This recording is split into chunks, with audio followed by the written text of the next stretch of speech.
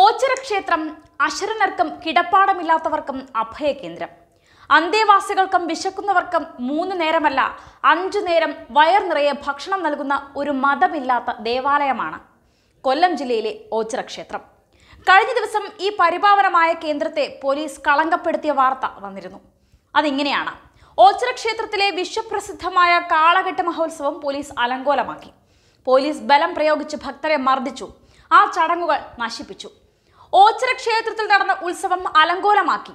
എന്നാൽ ഇത് സംഘപരിവാർ സംഘടനകൾ ആരും ഏറ്റെടുത്തില്ല പ്രതിപക്ഷവും ഏറ്റെടുത്തില്ല. കാരണം മദ്യപിച്ച ഒരു സംഘം സാമൂഹിക വിരുദ്ധരായിരുന്നു കോവിഡ് നിയമം ലംഘിച്ചതും നുഴഞ്ഞു കയറി ക്ഷേത്ര ചടങ്ങ് തകർത്തതും. പിന്നിൽ ഭീകരവാദ ബന്ധം വരെ സംശയിക്കുന്നു. കർമാനൂസ് ഇതിലെ സത്യമാണ് പുറത്തുവിടുന്നത്. ഓച്ചിറ ക്ഷേത്ര ഉത്സവം അലങ്കോലമാക്കിയ ആ വീഡിയോയ്ക്ക് പകരം ഇതിലെ സത്യം വിവരിക്കുന്ന കാര്യങ്ങൾ നമുക്ക് കാണാം. നമ്മളിപ്പോൾ നിൽക്കുന്നത് പ്രശസ്തമായ ഓച്ചിറ അമ്പലത്തിന് മുന്നിലാണ്. അമ്പലവുമില്ലാതെ ആൽത്തറയിൽ കുടികൊള്ളുന്ന പരബ്രഹ്മമൂർത്തിയായ പരമശിവന്റെ സങ്കല്പമുള്ള ഓച്ചിറ പരബ്രഹ്മമൂർത്തിയുടെ നടയിലാണ് നാം ഇപ്പോൾ നിൽക്കുന്നത്. അൻപത്തിരണ്ട് കരക്കാർ കൂടി വളരെ അന്തസ്സായിട്ട് വർഷങ്ങളോളം നടത്തുന്ന ഒരു ഉത്സവം. ചില സാമൂഹ്യ വിരുദ്ധരുടെ അഴിഞ്ഞാട്ടം മൂലം മാത്രം ഈ അമ്പലത്തിലെ ആ ഒരു പരിപാവനമായ ഇരുപത്തിയെട്ടാം ഓണത്തിന്റെ ആ ദിവസം അലങ്കോലപ്പെടുത്താൻ ചില ശ്രമങ്ങളുണ്ടായി. അതിനെപ്പറ്റി ഈ അമ്പത്തിരണ്ട് കരകൾക്കും നാഥനായിട്ടുള്ള ഈ അമ്പലത്തിന്റെ രക്ഷാധികാരി എന്ന് തന്നെ പറയാൻ പറ്റുന്ന ഭരണകർത്താവ് കൂടിയായ നമ്മുടെ സെക്രട്ടറി കൂടുതൽ കാര്യങ്ങൾ സംസാരിക്കുന്നതാണ്. എന്താണ് അവിടെ കഴിഞ്ഞ ഈ ഓണ ഈ ഇരുപത്തെട്ടാം ഓണത്തിന് സംഭവിച്ചത്? ഇരുപത്തെട്ടാം ഓണ മഹോത്സവം എന്ന് പറയുന്നത് തന്നെ ഓണാട്ടുകരയുടെ വിളവെടുപ്പിന്റെ വിളവെടു സമൃദ്ധമായ വിളവെടുപ്പിന് ശേഷം ഭഗവാന് പ്രസാദിക്കുന്നതിന് വേണ്ടി പ്രസാ അദ്ദേഹത്തിന്റെ വാഹനത്തെ എഴുന്നള്ളിക്കുന്ന നൂറ്റാണ്ടുകളായി നിലനിൽക്കുന്ന ആചാരമാണ് ഇരുപത്തെട്ടാം ഓണം മഹോത്സവം. ഈ ലോകത്തെ ഏറ്റവും വലിയ കെട്ടുത്സവങ്ങളിൽ വെച്ച് ഏറ്റവും വലിയ കാളയെ കെട്ടുകാളയെ ക്ഷേത്രത്തിൽ ആനയിച്ച്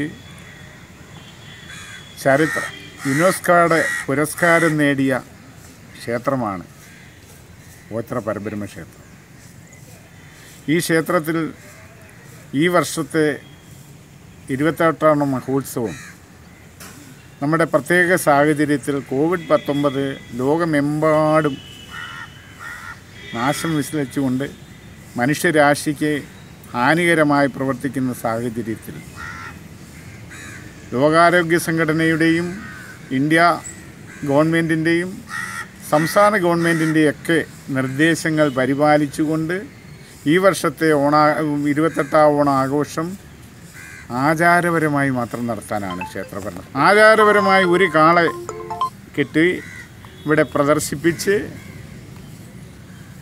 പരബ്രഹ്മത്തിന്റെ സംതൃപ്തി നേടുക എന്നുള്ള ലക്ഷ്യത്തോടു കൂടിയാണ് ക്ഷേത്രഭരണ സമിതി വളരെ ദീർഘവീക്ഷണത്തോടു കൂടി ഇങ്ങനെ ഒരു ചടങ്ങ് സംഘടിപ്പിച്ചത്. വളരെ നേരത്തെ തന്നെ നാല് മണിക്ക് ക്ഷേത്രഭരണ സമിതി ഈ കെട്ടുത്സവം ക്ഷേത്രനടയിൽ പ്രവേശിപ്പിക്കുകയും അതിനോടൊപ്പം ഭക്തജനങ്ങളെ മൊത്തം അന്നേരം കോവിഡ് മാനദണ്ഡങ്ങൾ പാലിക്കുന്നതിന് വേണ്ടി ഭക്തജനങ്ങൾക്ക് വേണ്ടി നാല് മണിക്ക് ശേഷം നമ്മൾ ക്ഷേത്രത്തിൽ പ്രവേശനം തന്നെ നിരോധിച്ചിരുന്നു. ആ സന്ദർഭത്തിൽ കെട്ട് ഈ ക്ഷേത്രഭരണസമിതി ഇവിടെ തയ്യാറാക്കി വെച്ചിരുന്ന കെട്ടുത്സവം അകത്തോട്ട് പ്രവേശിപ്പിക്കുന്നതിനോടൊപ്പം സാമൂഹ്യ വിരുദ്ധന്മാരായ ചില ആളുകൾ ഇതിനോടൊപ്പം രണ്ട് ചെറിയ കെട്ടുകാളകളുമായി ഇവിടെ വന്ന് പോലീസിനെ ധിക്കരിച്ചുകൊണ്ട് അകത്ത് കയറാൻ പ്രവേശിക്കാനുള്ള പരിശ്രമം നടത്തുകയും പോലീസ് അവരെ തടയുകയാണ്. അത് ക്ഷേത്രഭരണ സമിതിയായി ഇതിന് യാതൊരു ബന്ധവുമില്ല. ക്ഷേത്രഭരണ സമിതി ഈ നാല് മണിക്ക് ശേഷം ആരെയും ക്ഷേത്ര കോമ്പൗണ്ടിൽ പ്രവേശിപ്പിക്കത്തില്ല എന്ന് നേരത്തെ തന്നെ അറിയിച്ചിരുന്നതാണ്. പിന്നെ അതിനെ വ്യാഖ്യാനിച്ചുകൊണ്ട് പോലീസിനെതിരെയല്ല പറയുന്നത്. ഇതിനെ തടഞ്ഞ പോലീസിനെതിരെയല്ല ഭരണസമിതിക്കെതിരെയാണ് പോലീസിന്റെ സപ്പോർട്ട് ഉണ്ടായിരുന്നു. പോലീസിന് എ സി പി ഉൾപ്പെടെയുള്ള സർക്കിൾ ഇൻസ്പെക്ടർ ഉൾപ്പെടെയുള്ള പത്ത് മുപ്പതോളം പോലീസ് സേനാംഗങ്ങൾ കാവാടത്തിൽ കാവലിനോട് കൂടിയാണ് ഈ പരിപാടി നടന്നത്. അവിടെ ഇതിനെ പ്രവേശിപ്പിക്കാതിരുന്നതിന് അതിനെ തടഞ്ഞത് പോലീസാണ്. ക്ഷേത്രഭരണ സമിതി അതിനകത്ത് യാതൊരു ഇടപെടലും നടത്തിയിട്ടില്ല.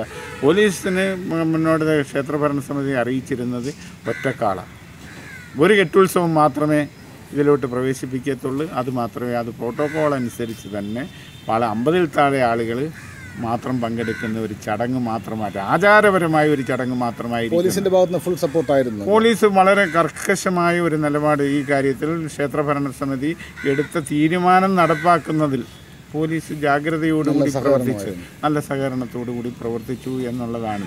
പക്ഷേ ക്ഷേത്രഭരണ സമിതിയും ഈ വെളിയിൽ നിന്ന് വന്ന ആളുകളുമായി യാതൊരു ബന്ധവുമില്ല. യാതൊരു തർക്കവും ഉണ്ടായിട്ടില്ല.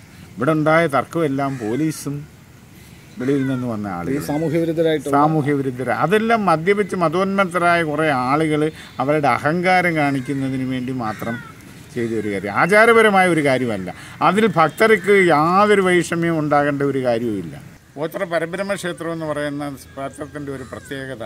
അതിന്റെ പേര് അന്നദാനം എന്നിരു വന്ന അശരണർക്ക് ആലംബഹീനരായിട്ടുള്ള ആളുകൾക്ക് അവശരായിട്ടുള്ള വാർദ്ധക്യത്തിലെ ആ സകലരാലും ഉപേക്ഷിക്കപ്പെടുന്ന ആളുകൾക്ക് ഭക്ഷണവും വസ്ത്രവും താമസ സൗകര്യവും ഏർപ്പെടുത്തി കൊടുക്കുക എന്നുള്ളതാണ് മറ്റ് ക്ഷേത്രങ്ങളിൽ നിന്ന് വ്യത്യസ്തമായി ഗോത്ര പരബ്രഹ്മ ക്ഷേത്രത്തെ പ്രത്യേകമായി പരിഗണിക്കാവുന്ന കാര്യം. അങ്ങനെയുള്ള ഈ ക്ഷേത്രത്തെ സംബന്ധിച്ചിടത്തോളം അവിടെ ഇവിടെ അന്തേവാസികൾ ഇരുന്നൂറ്റമ്പതോളം അന്തേവാസികൾ ഇവിടെ സ്ഥിരമായിട്ടുണ്ട്. അവർക്ക് അഞ്ച് നേരമാണ് ഭക്ഷണം കൊടുക്കുന്നത്. രാവിലെ ചായ ഉച്ചയ്ക്ക് പിന്നെ ഒമ്പതര മണിക്ക് കഞ്ഞിയും മുതിരയും അല്ലെങ്കിൽ കഞ്ഞിയും പയറും ഉച്ചയ്ക്ക് ഭക്ഷണം നാല് മണിക്ക് അവർക്ക് കടിയും ഭക്ഷണവും ഇപ്പം ചായയും അതുപോലെ വൈകിട്ട് രാത്രിയിലും ഭക്ഷണം കൊടുക്കുന്നത്. അങ്ങനെ അഞ്ച് നേരം ഭക്ഷണം. അവർക്ക് ദൈനംദിന ആവശ്യങ്ങൾക്ക് ആവശ്യമായി എല്ലാ സാമഗ്രികളും. നിത്യജീവിതത്തിൽ ദൈനംദിന ആവശ്യങ്ങൾക്ക് ആവശ്യമായ എല്ലാ സാമഗ്രികളും. വസ്ത്രങ്ങൾ ക്ഷേത്രത്തിൽ നിന്ന് കൊടുക്കുക. അവർക്ക് എല്ലാ ബുധനാഴ്ചയും ഞങ്ങളുടെ പരമ്പരമ ഹോസ്പിറ്റലിൽ നിന്നും ഡോക്ടറും നഴ്സുമാരും ആരോഗ്യ പ്രവർത്തകരും ഇവിടെ വന്ന് അവരെ പരിശോധിക്കുകയും അവർക്ക് ആവശ്യമായ മരുന്നുകൾ കുടിക്കുകയും ചെയ്യുന്നു. അങ്ങനെ ജീവകാരുണ്യ പ്രവർത്തനമാണ് ഗോത്ര പരബ്രഹ്മ ക്ഷേത്രത്തെ മറ്റ് ക്ഷേത്രങ്ങളിൽ നിന്നും വേർതിട്ട് കാണിക്കുന്നത്. ഇവിടെ സംബന്ധിച്ചിടത്തോളം അമ്പലമില്ല പിന്നെ വിഗ്രഹവുമില്ല ഒന്നുമില്ല. അതേസമയം ഇവിടുത്തെ എല്ലാം മാനവരാശിയുടെ നന്മ മാനവരാശിയുടെ അശരണരും ആലംബഹീനരുമായിട്ടുള്ള ആളുകളെ സംരക്ഷിക്കുക. അവർക്ക് ആറധിക കാലത്ത് എല്ലാ സംരക്ഷണവും കൊടുക്കുക എന്നുള്ളതാണ് ഗോത്രക്ഷേത്ര ക്ഷേത്ര ഭരണസമിതിയുടെയും ഗോത്രക്ഷേത്രത്തിന്റെയും ക്ഷേത്രത്തിന്റെയും ധർമ്മം. അത് ഞങ്ങൾ പരിപാലിച്ചു വരിക കോവിഡിനോടനുബന്ധിച്ച് നമ്മുടെ ഈ പ്രദേശത്ത് അലഞ്ഞു തിരിഞ്ഞാടുന്നത് കടത്തിണ്ണയ്ക്ക് ഉറങ്ങിക്കൊണ്ട് കിടന്ന ആളുകളെയൊക്കെ കളക്ടറും എം എൽ എയും ഒക്കെ കൂടെ ബന്ധപ്പെട്ട് ഒരുപാട് ആളുകളെ ഒരു രണ്ട് നൂറ്റി ഇരുപതോളം ആളുകളെ ഇവിടെ കൊണ്ടുവന്ന് നമ്മുടെ ഓഡിറ്റോറിയം തുറന്നു കൊടുത്തു.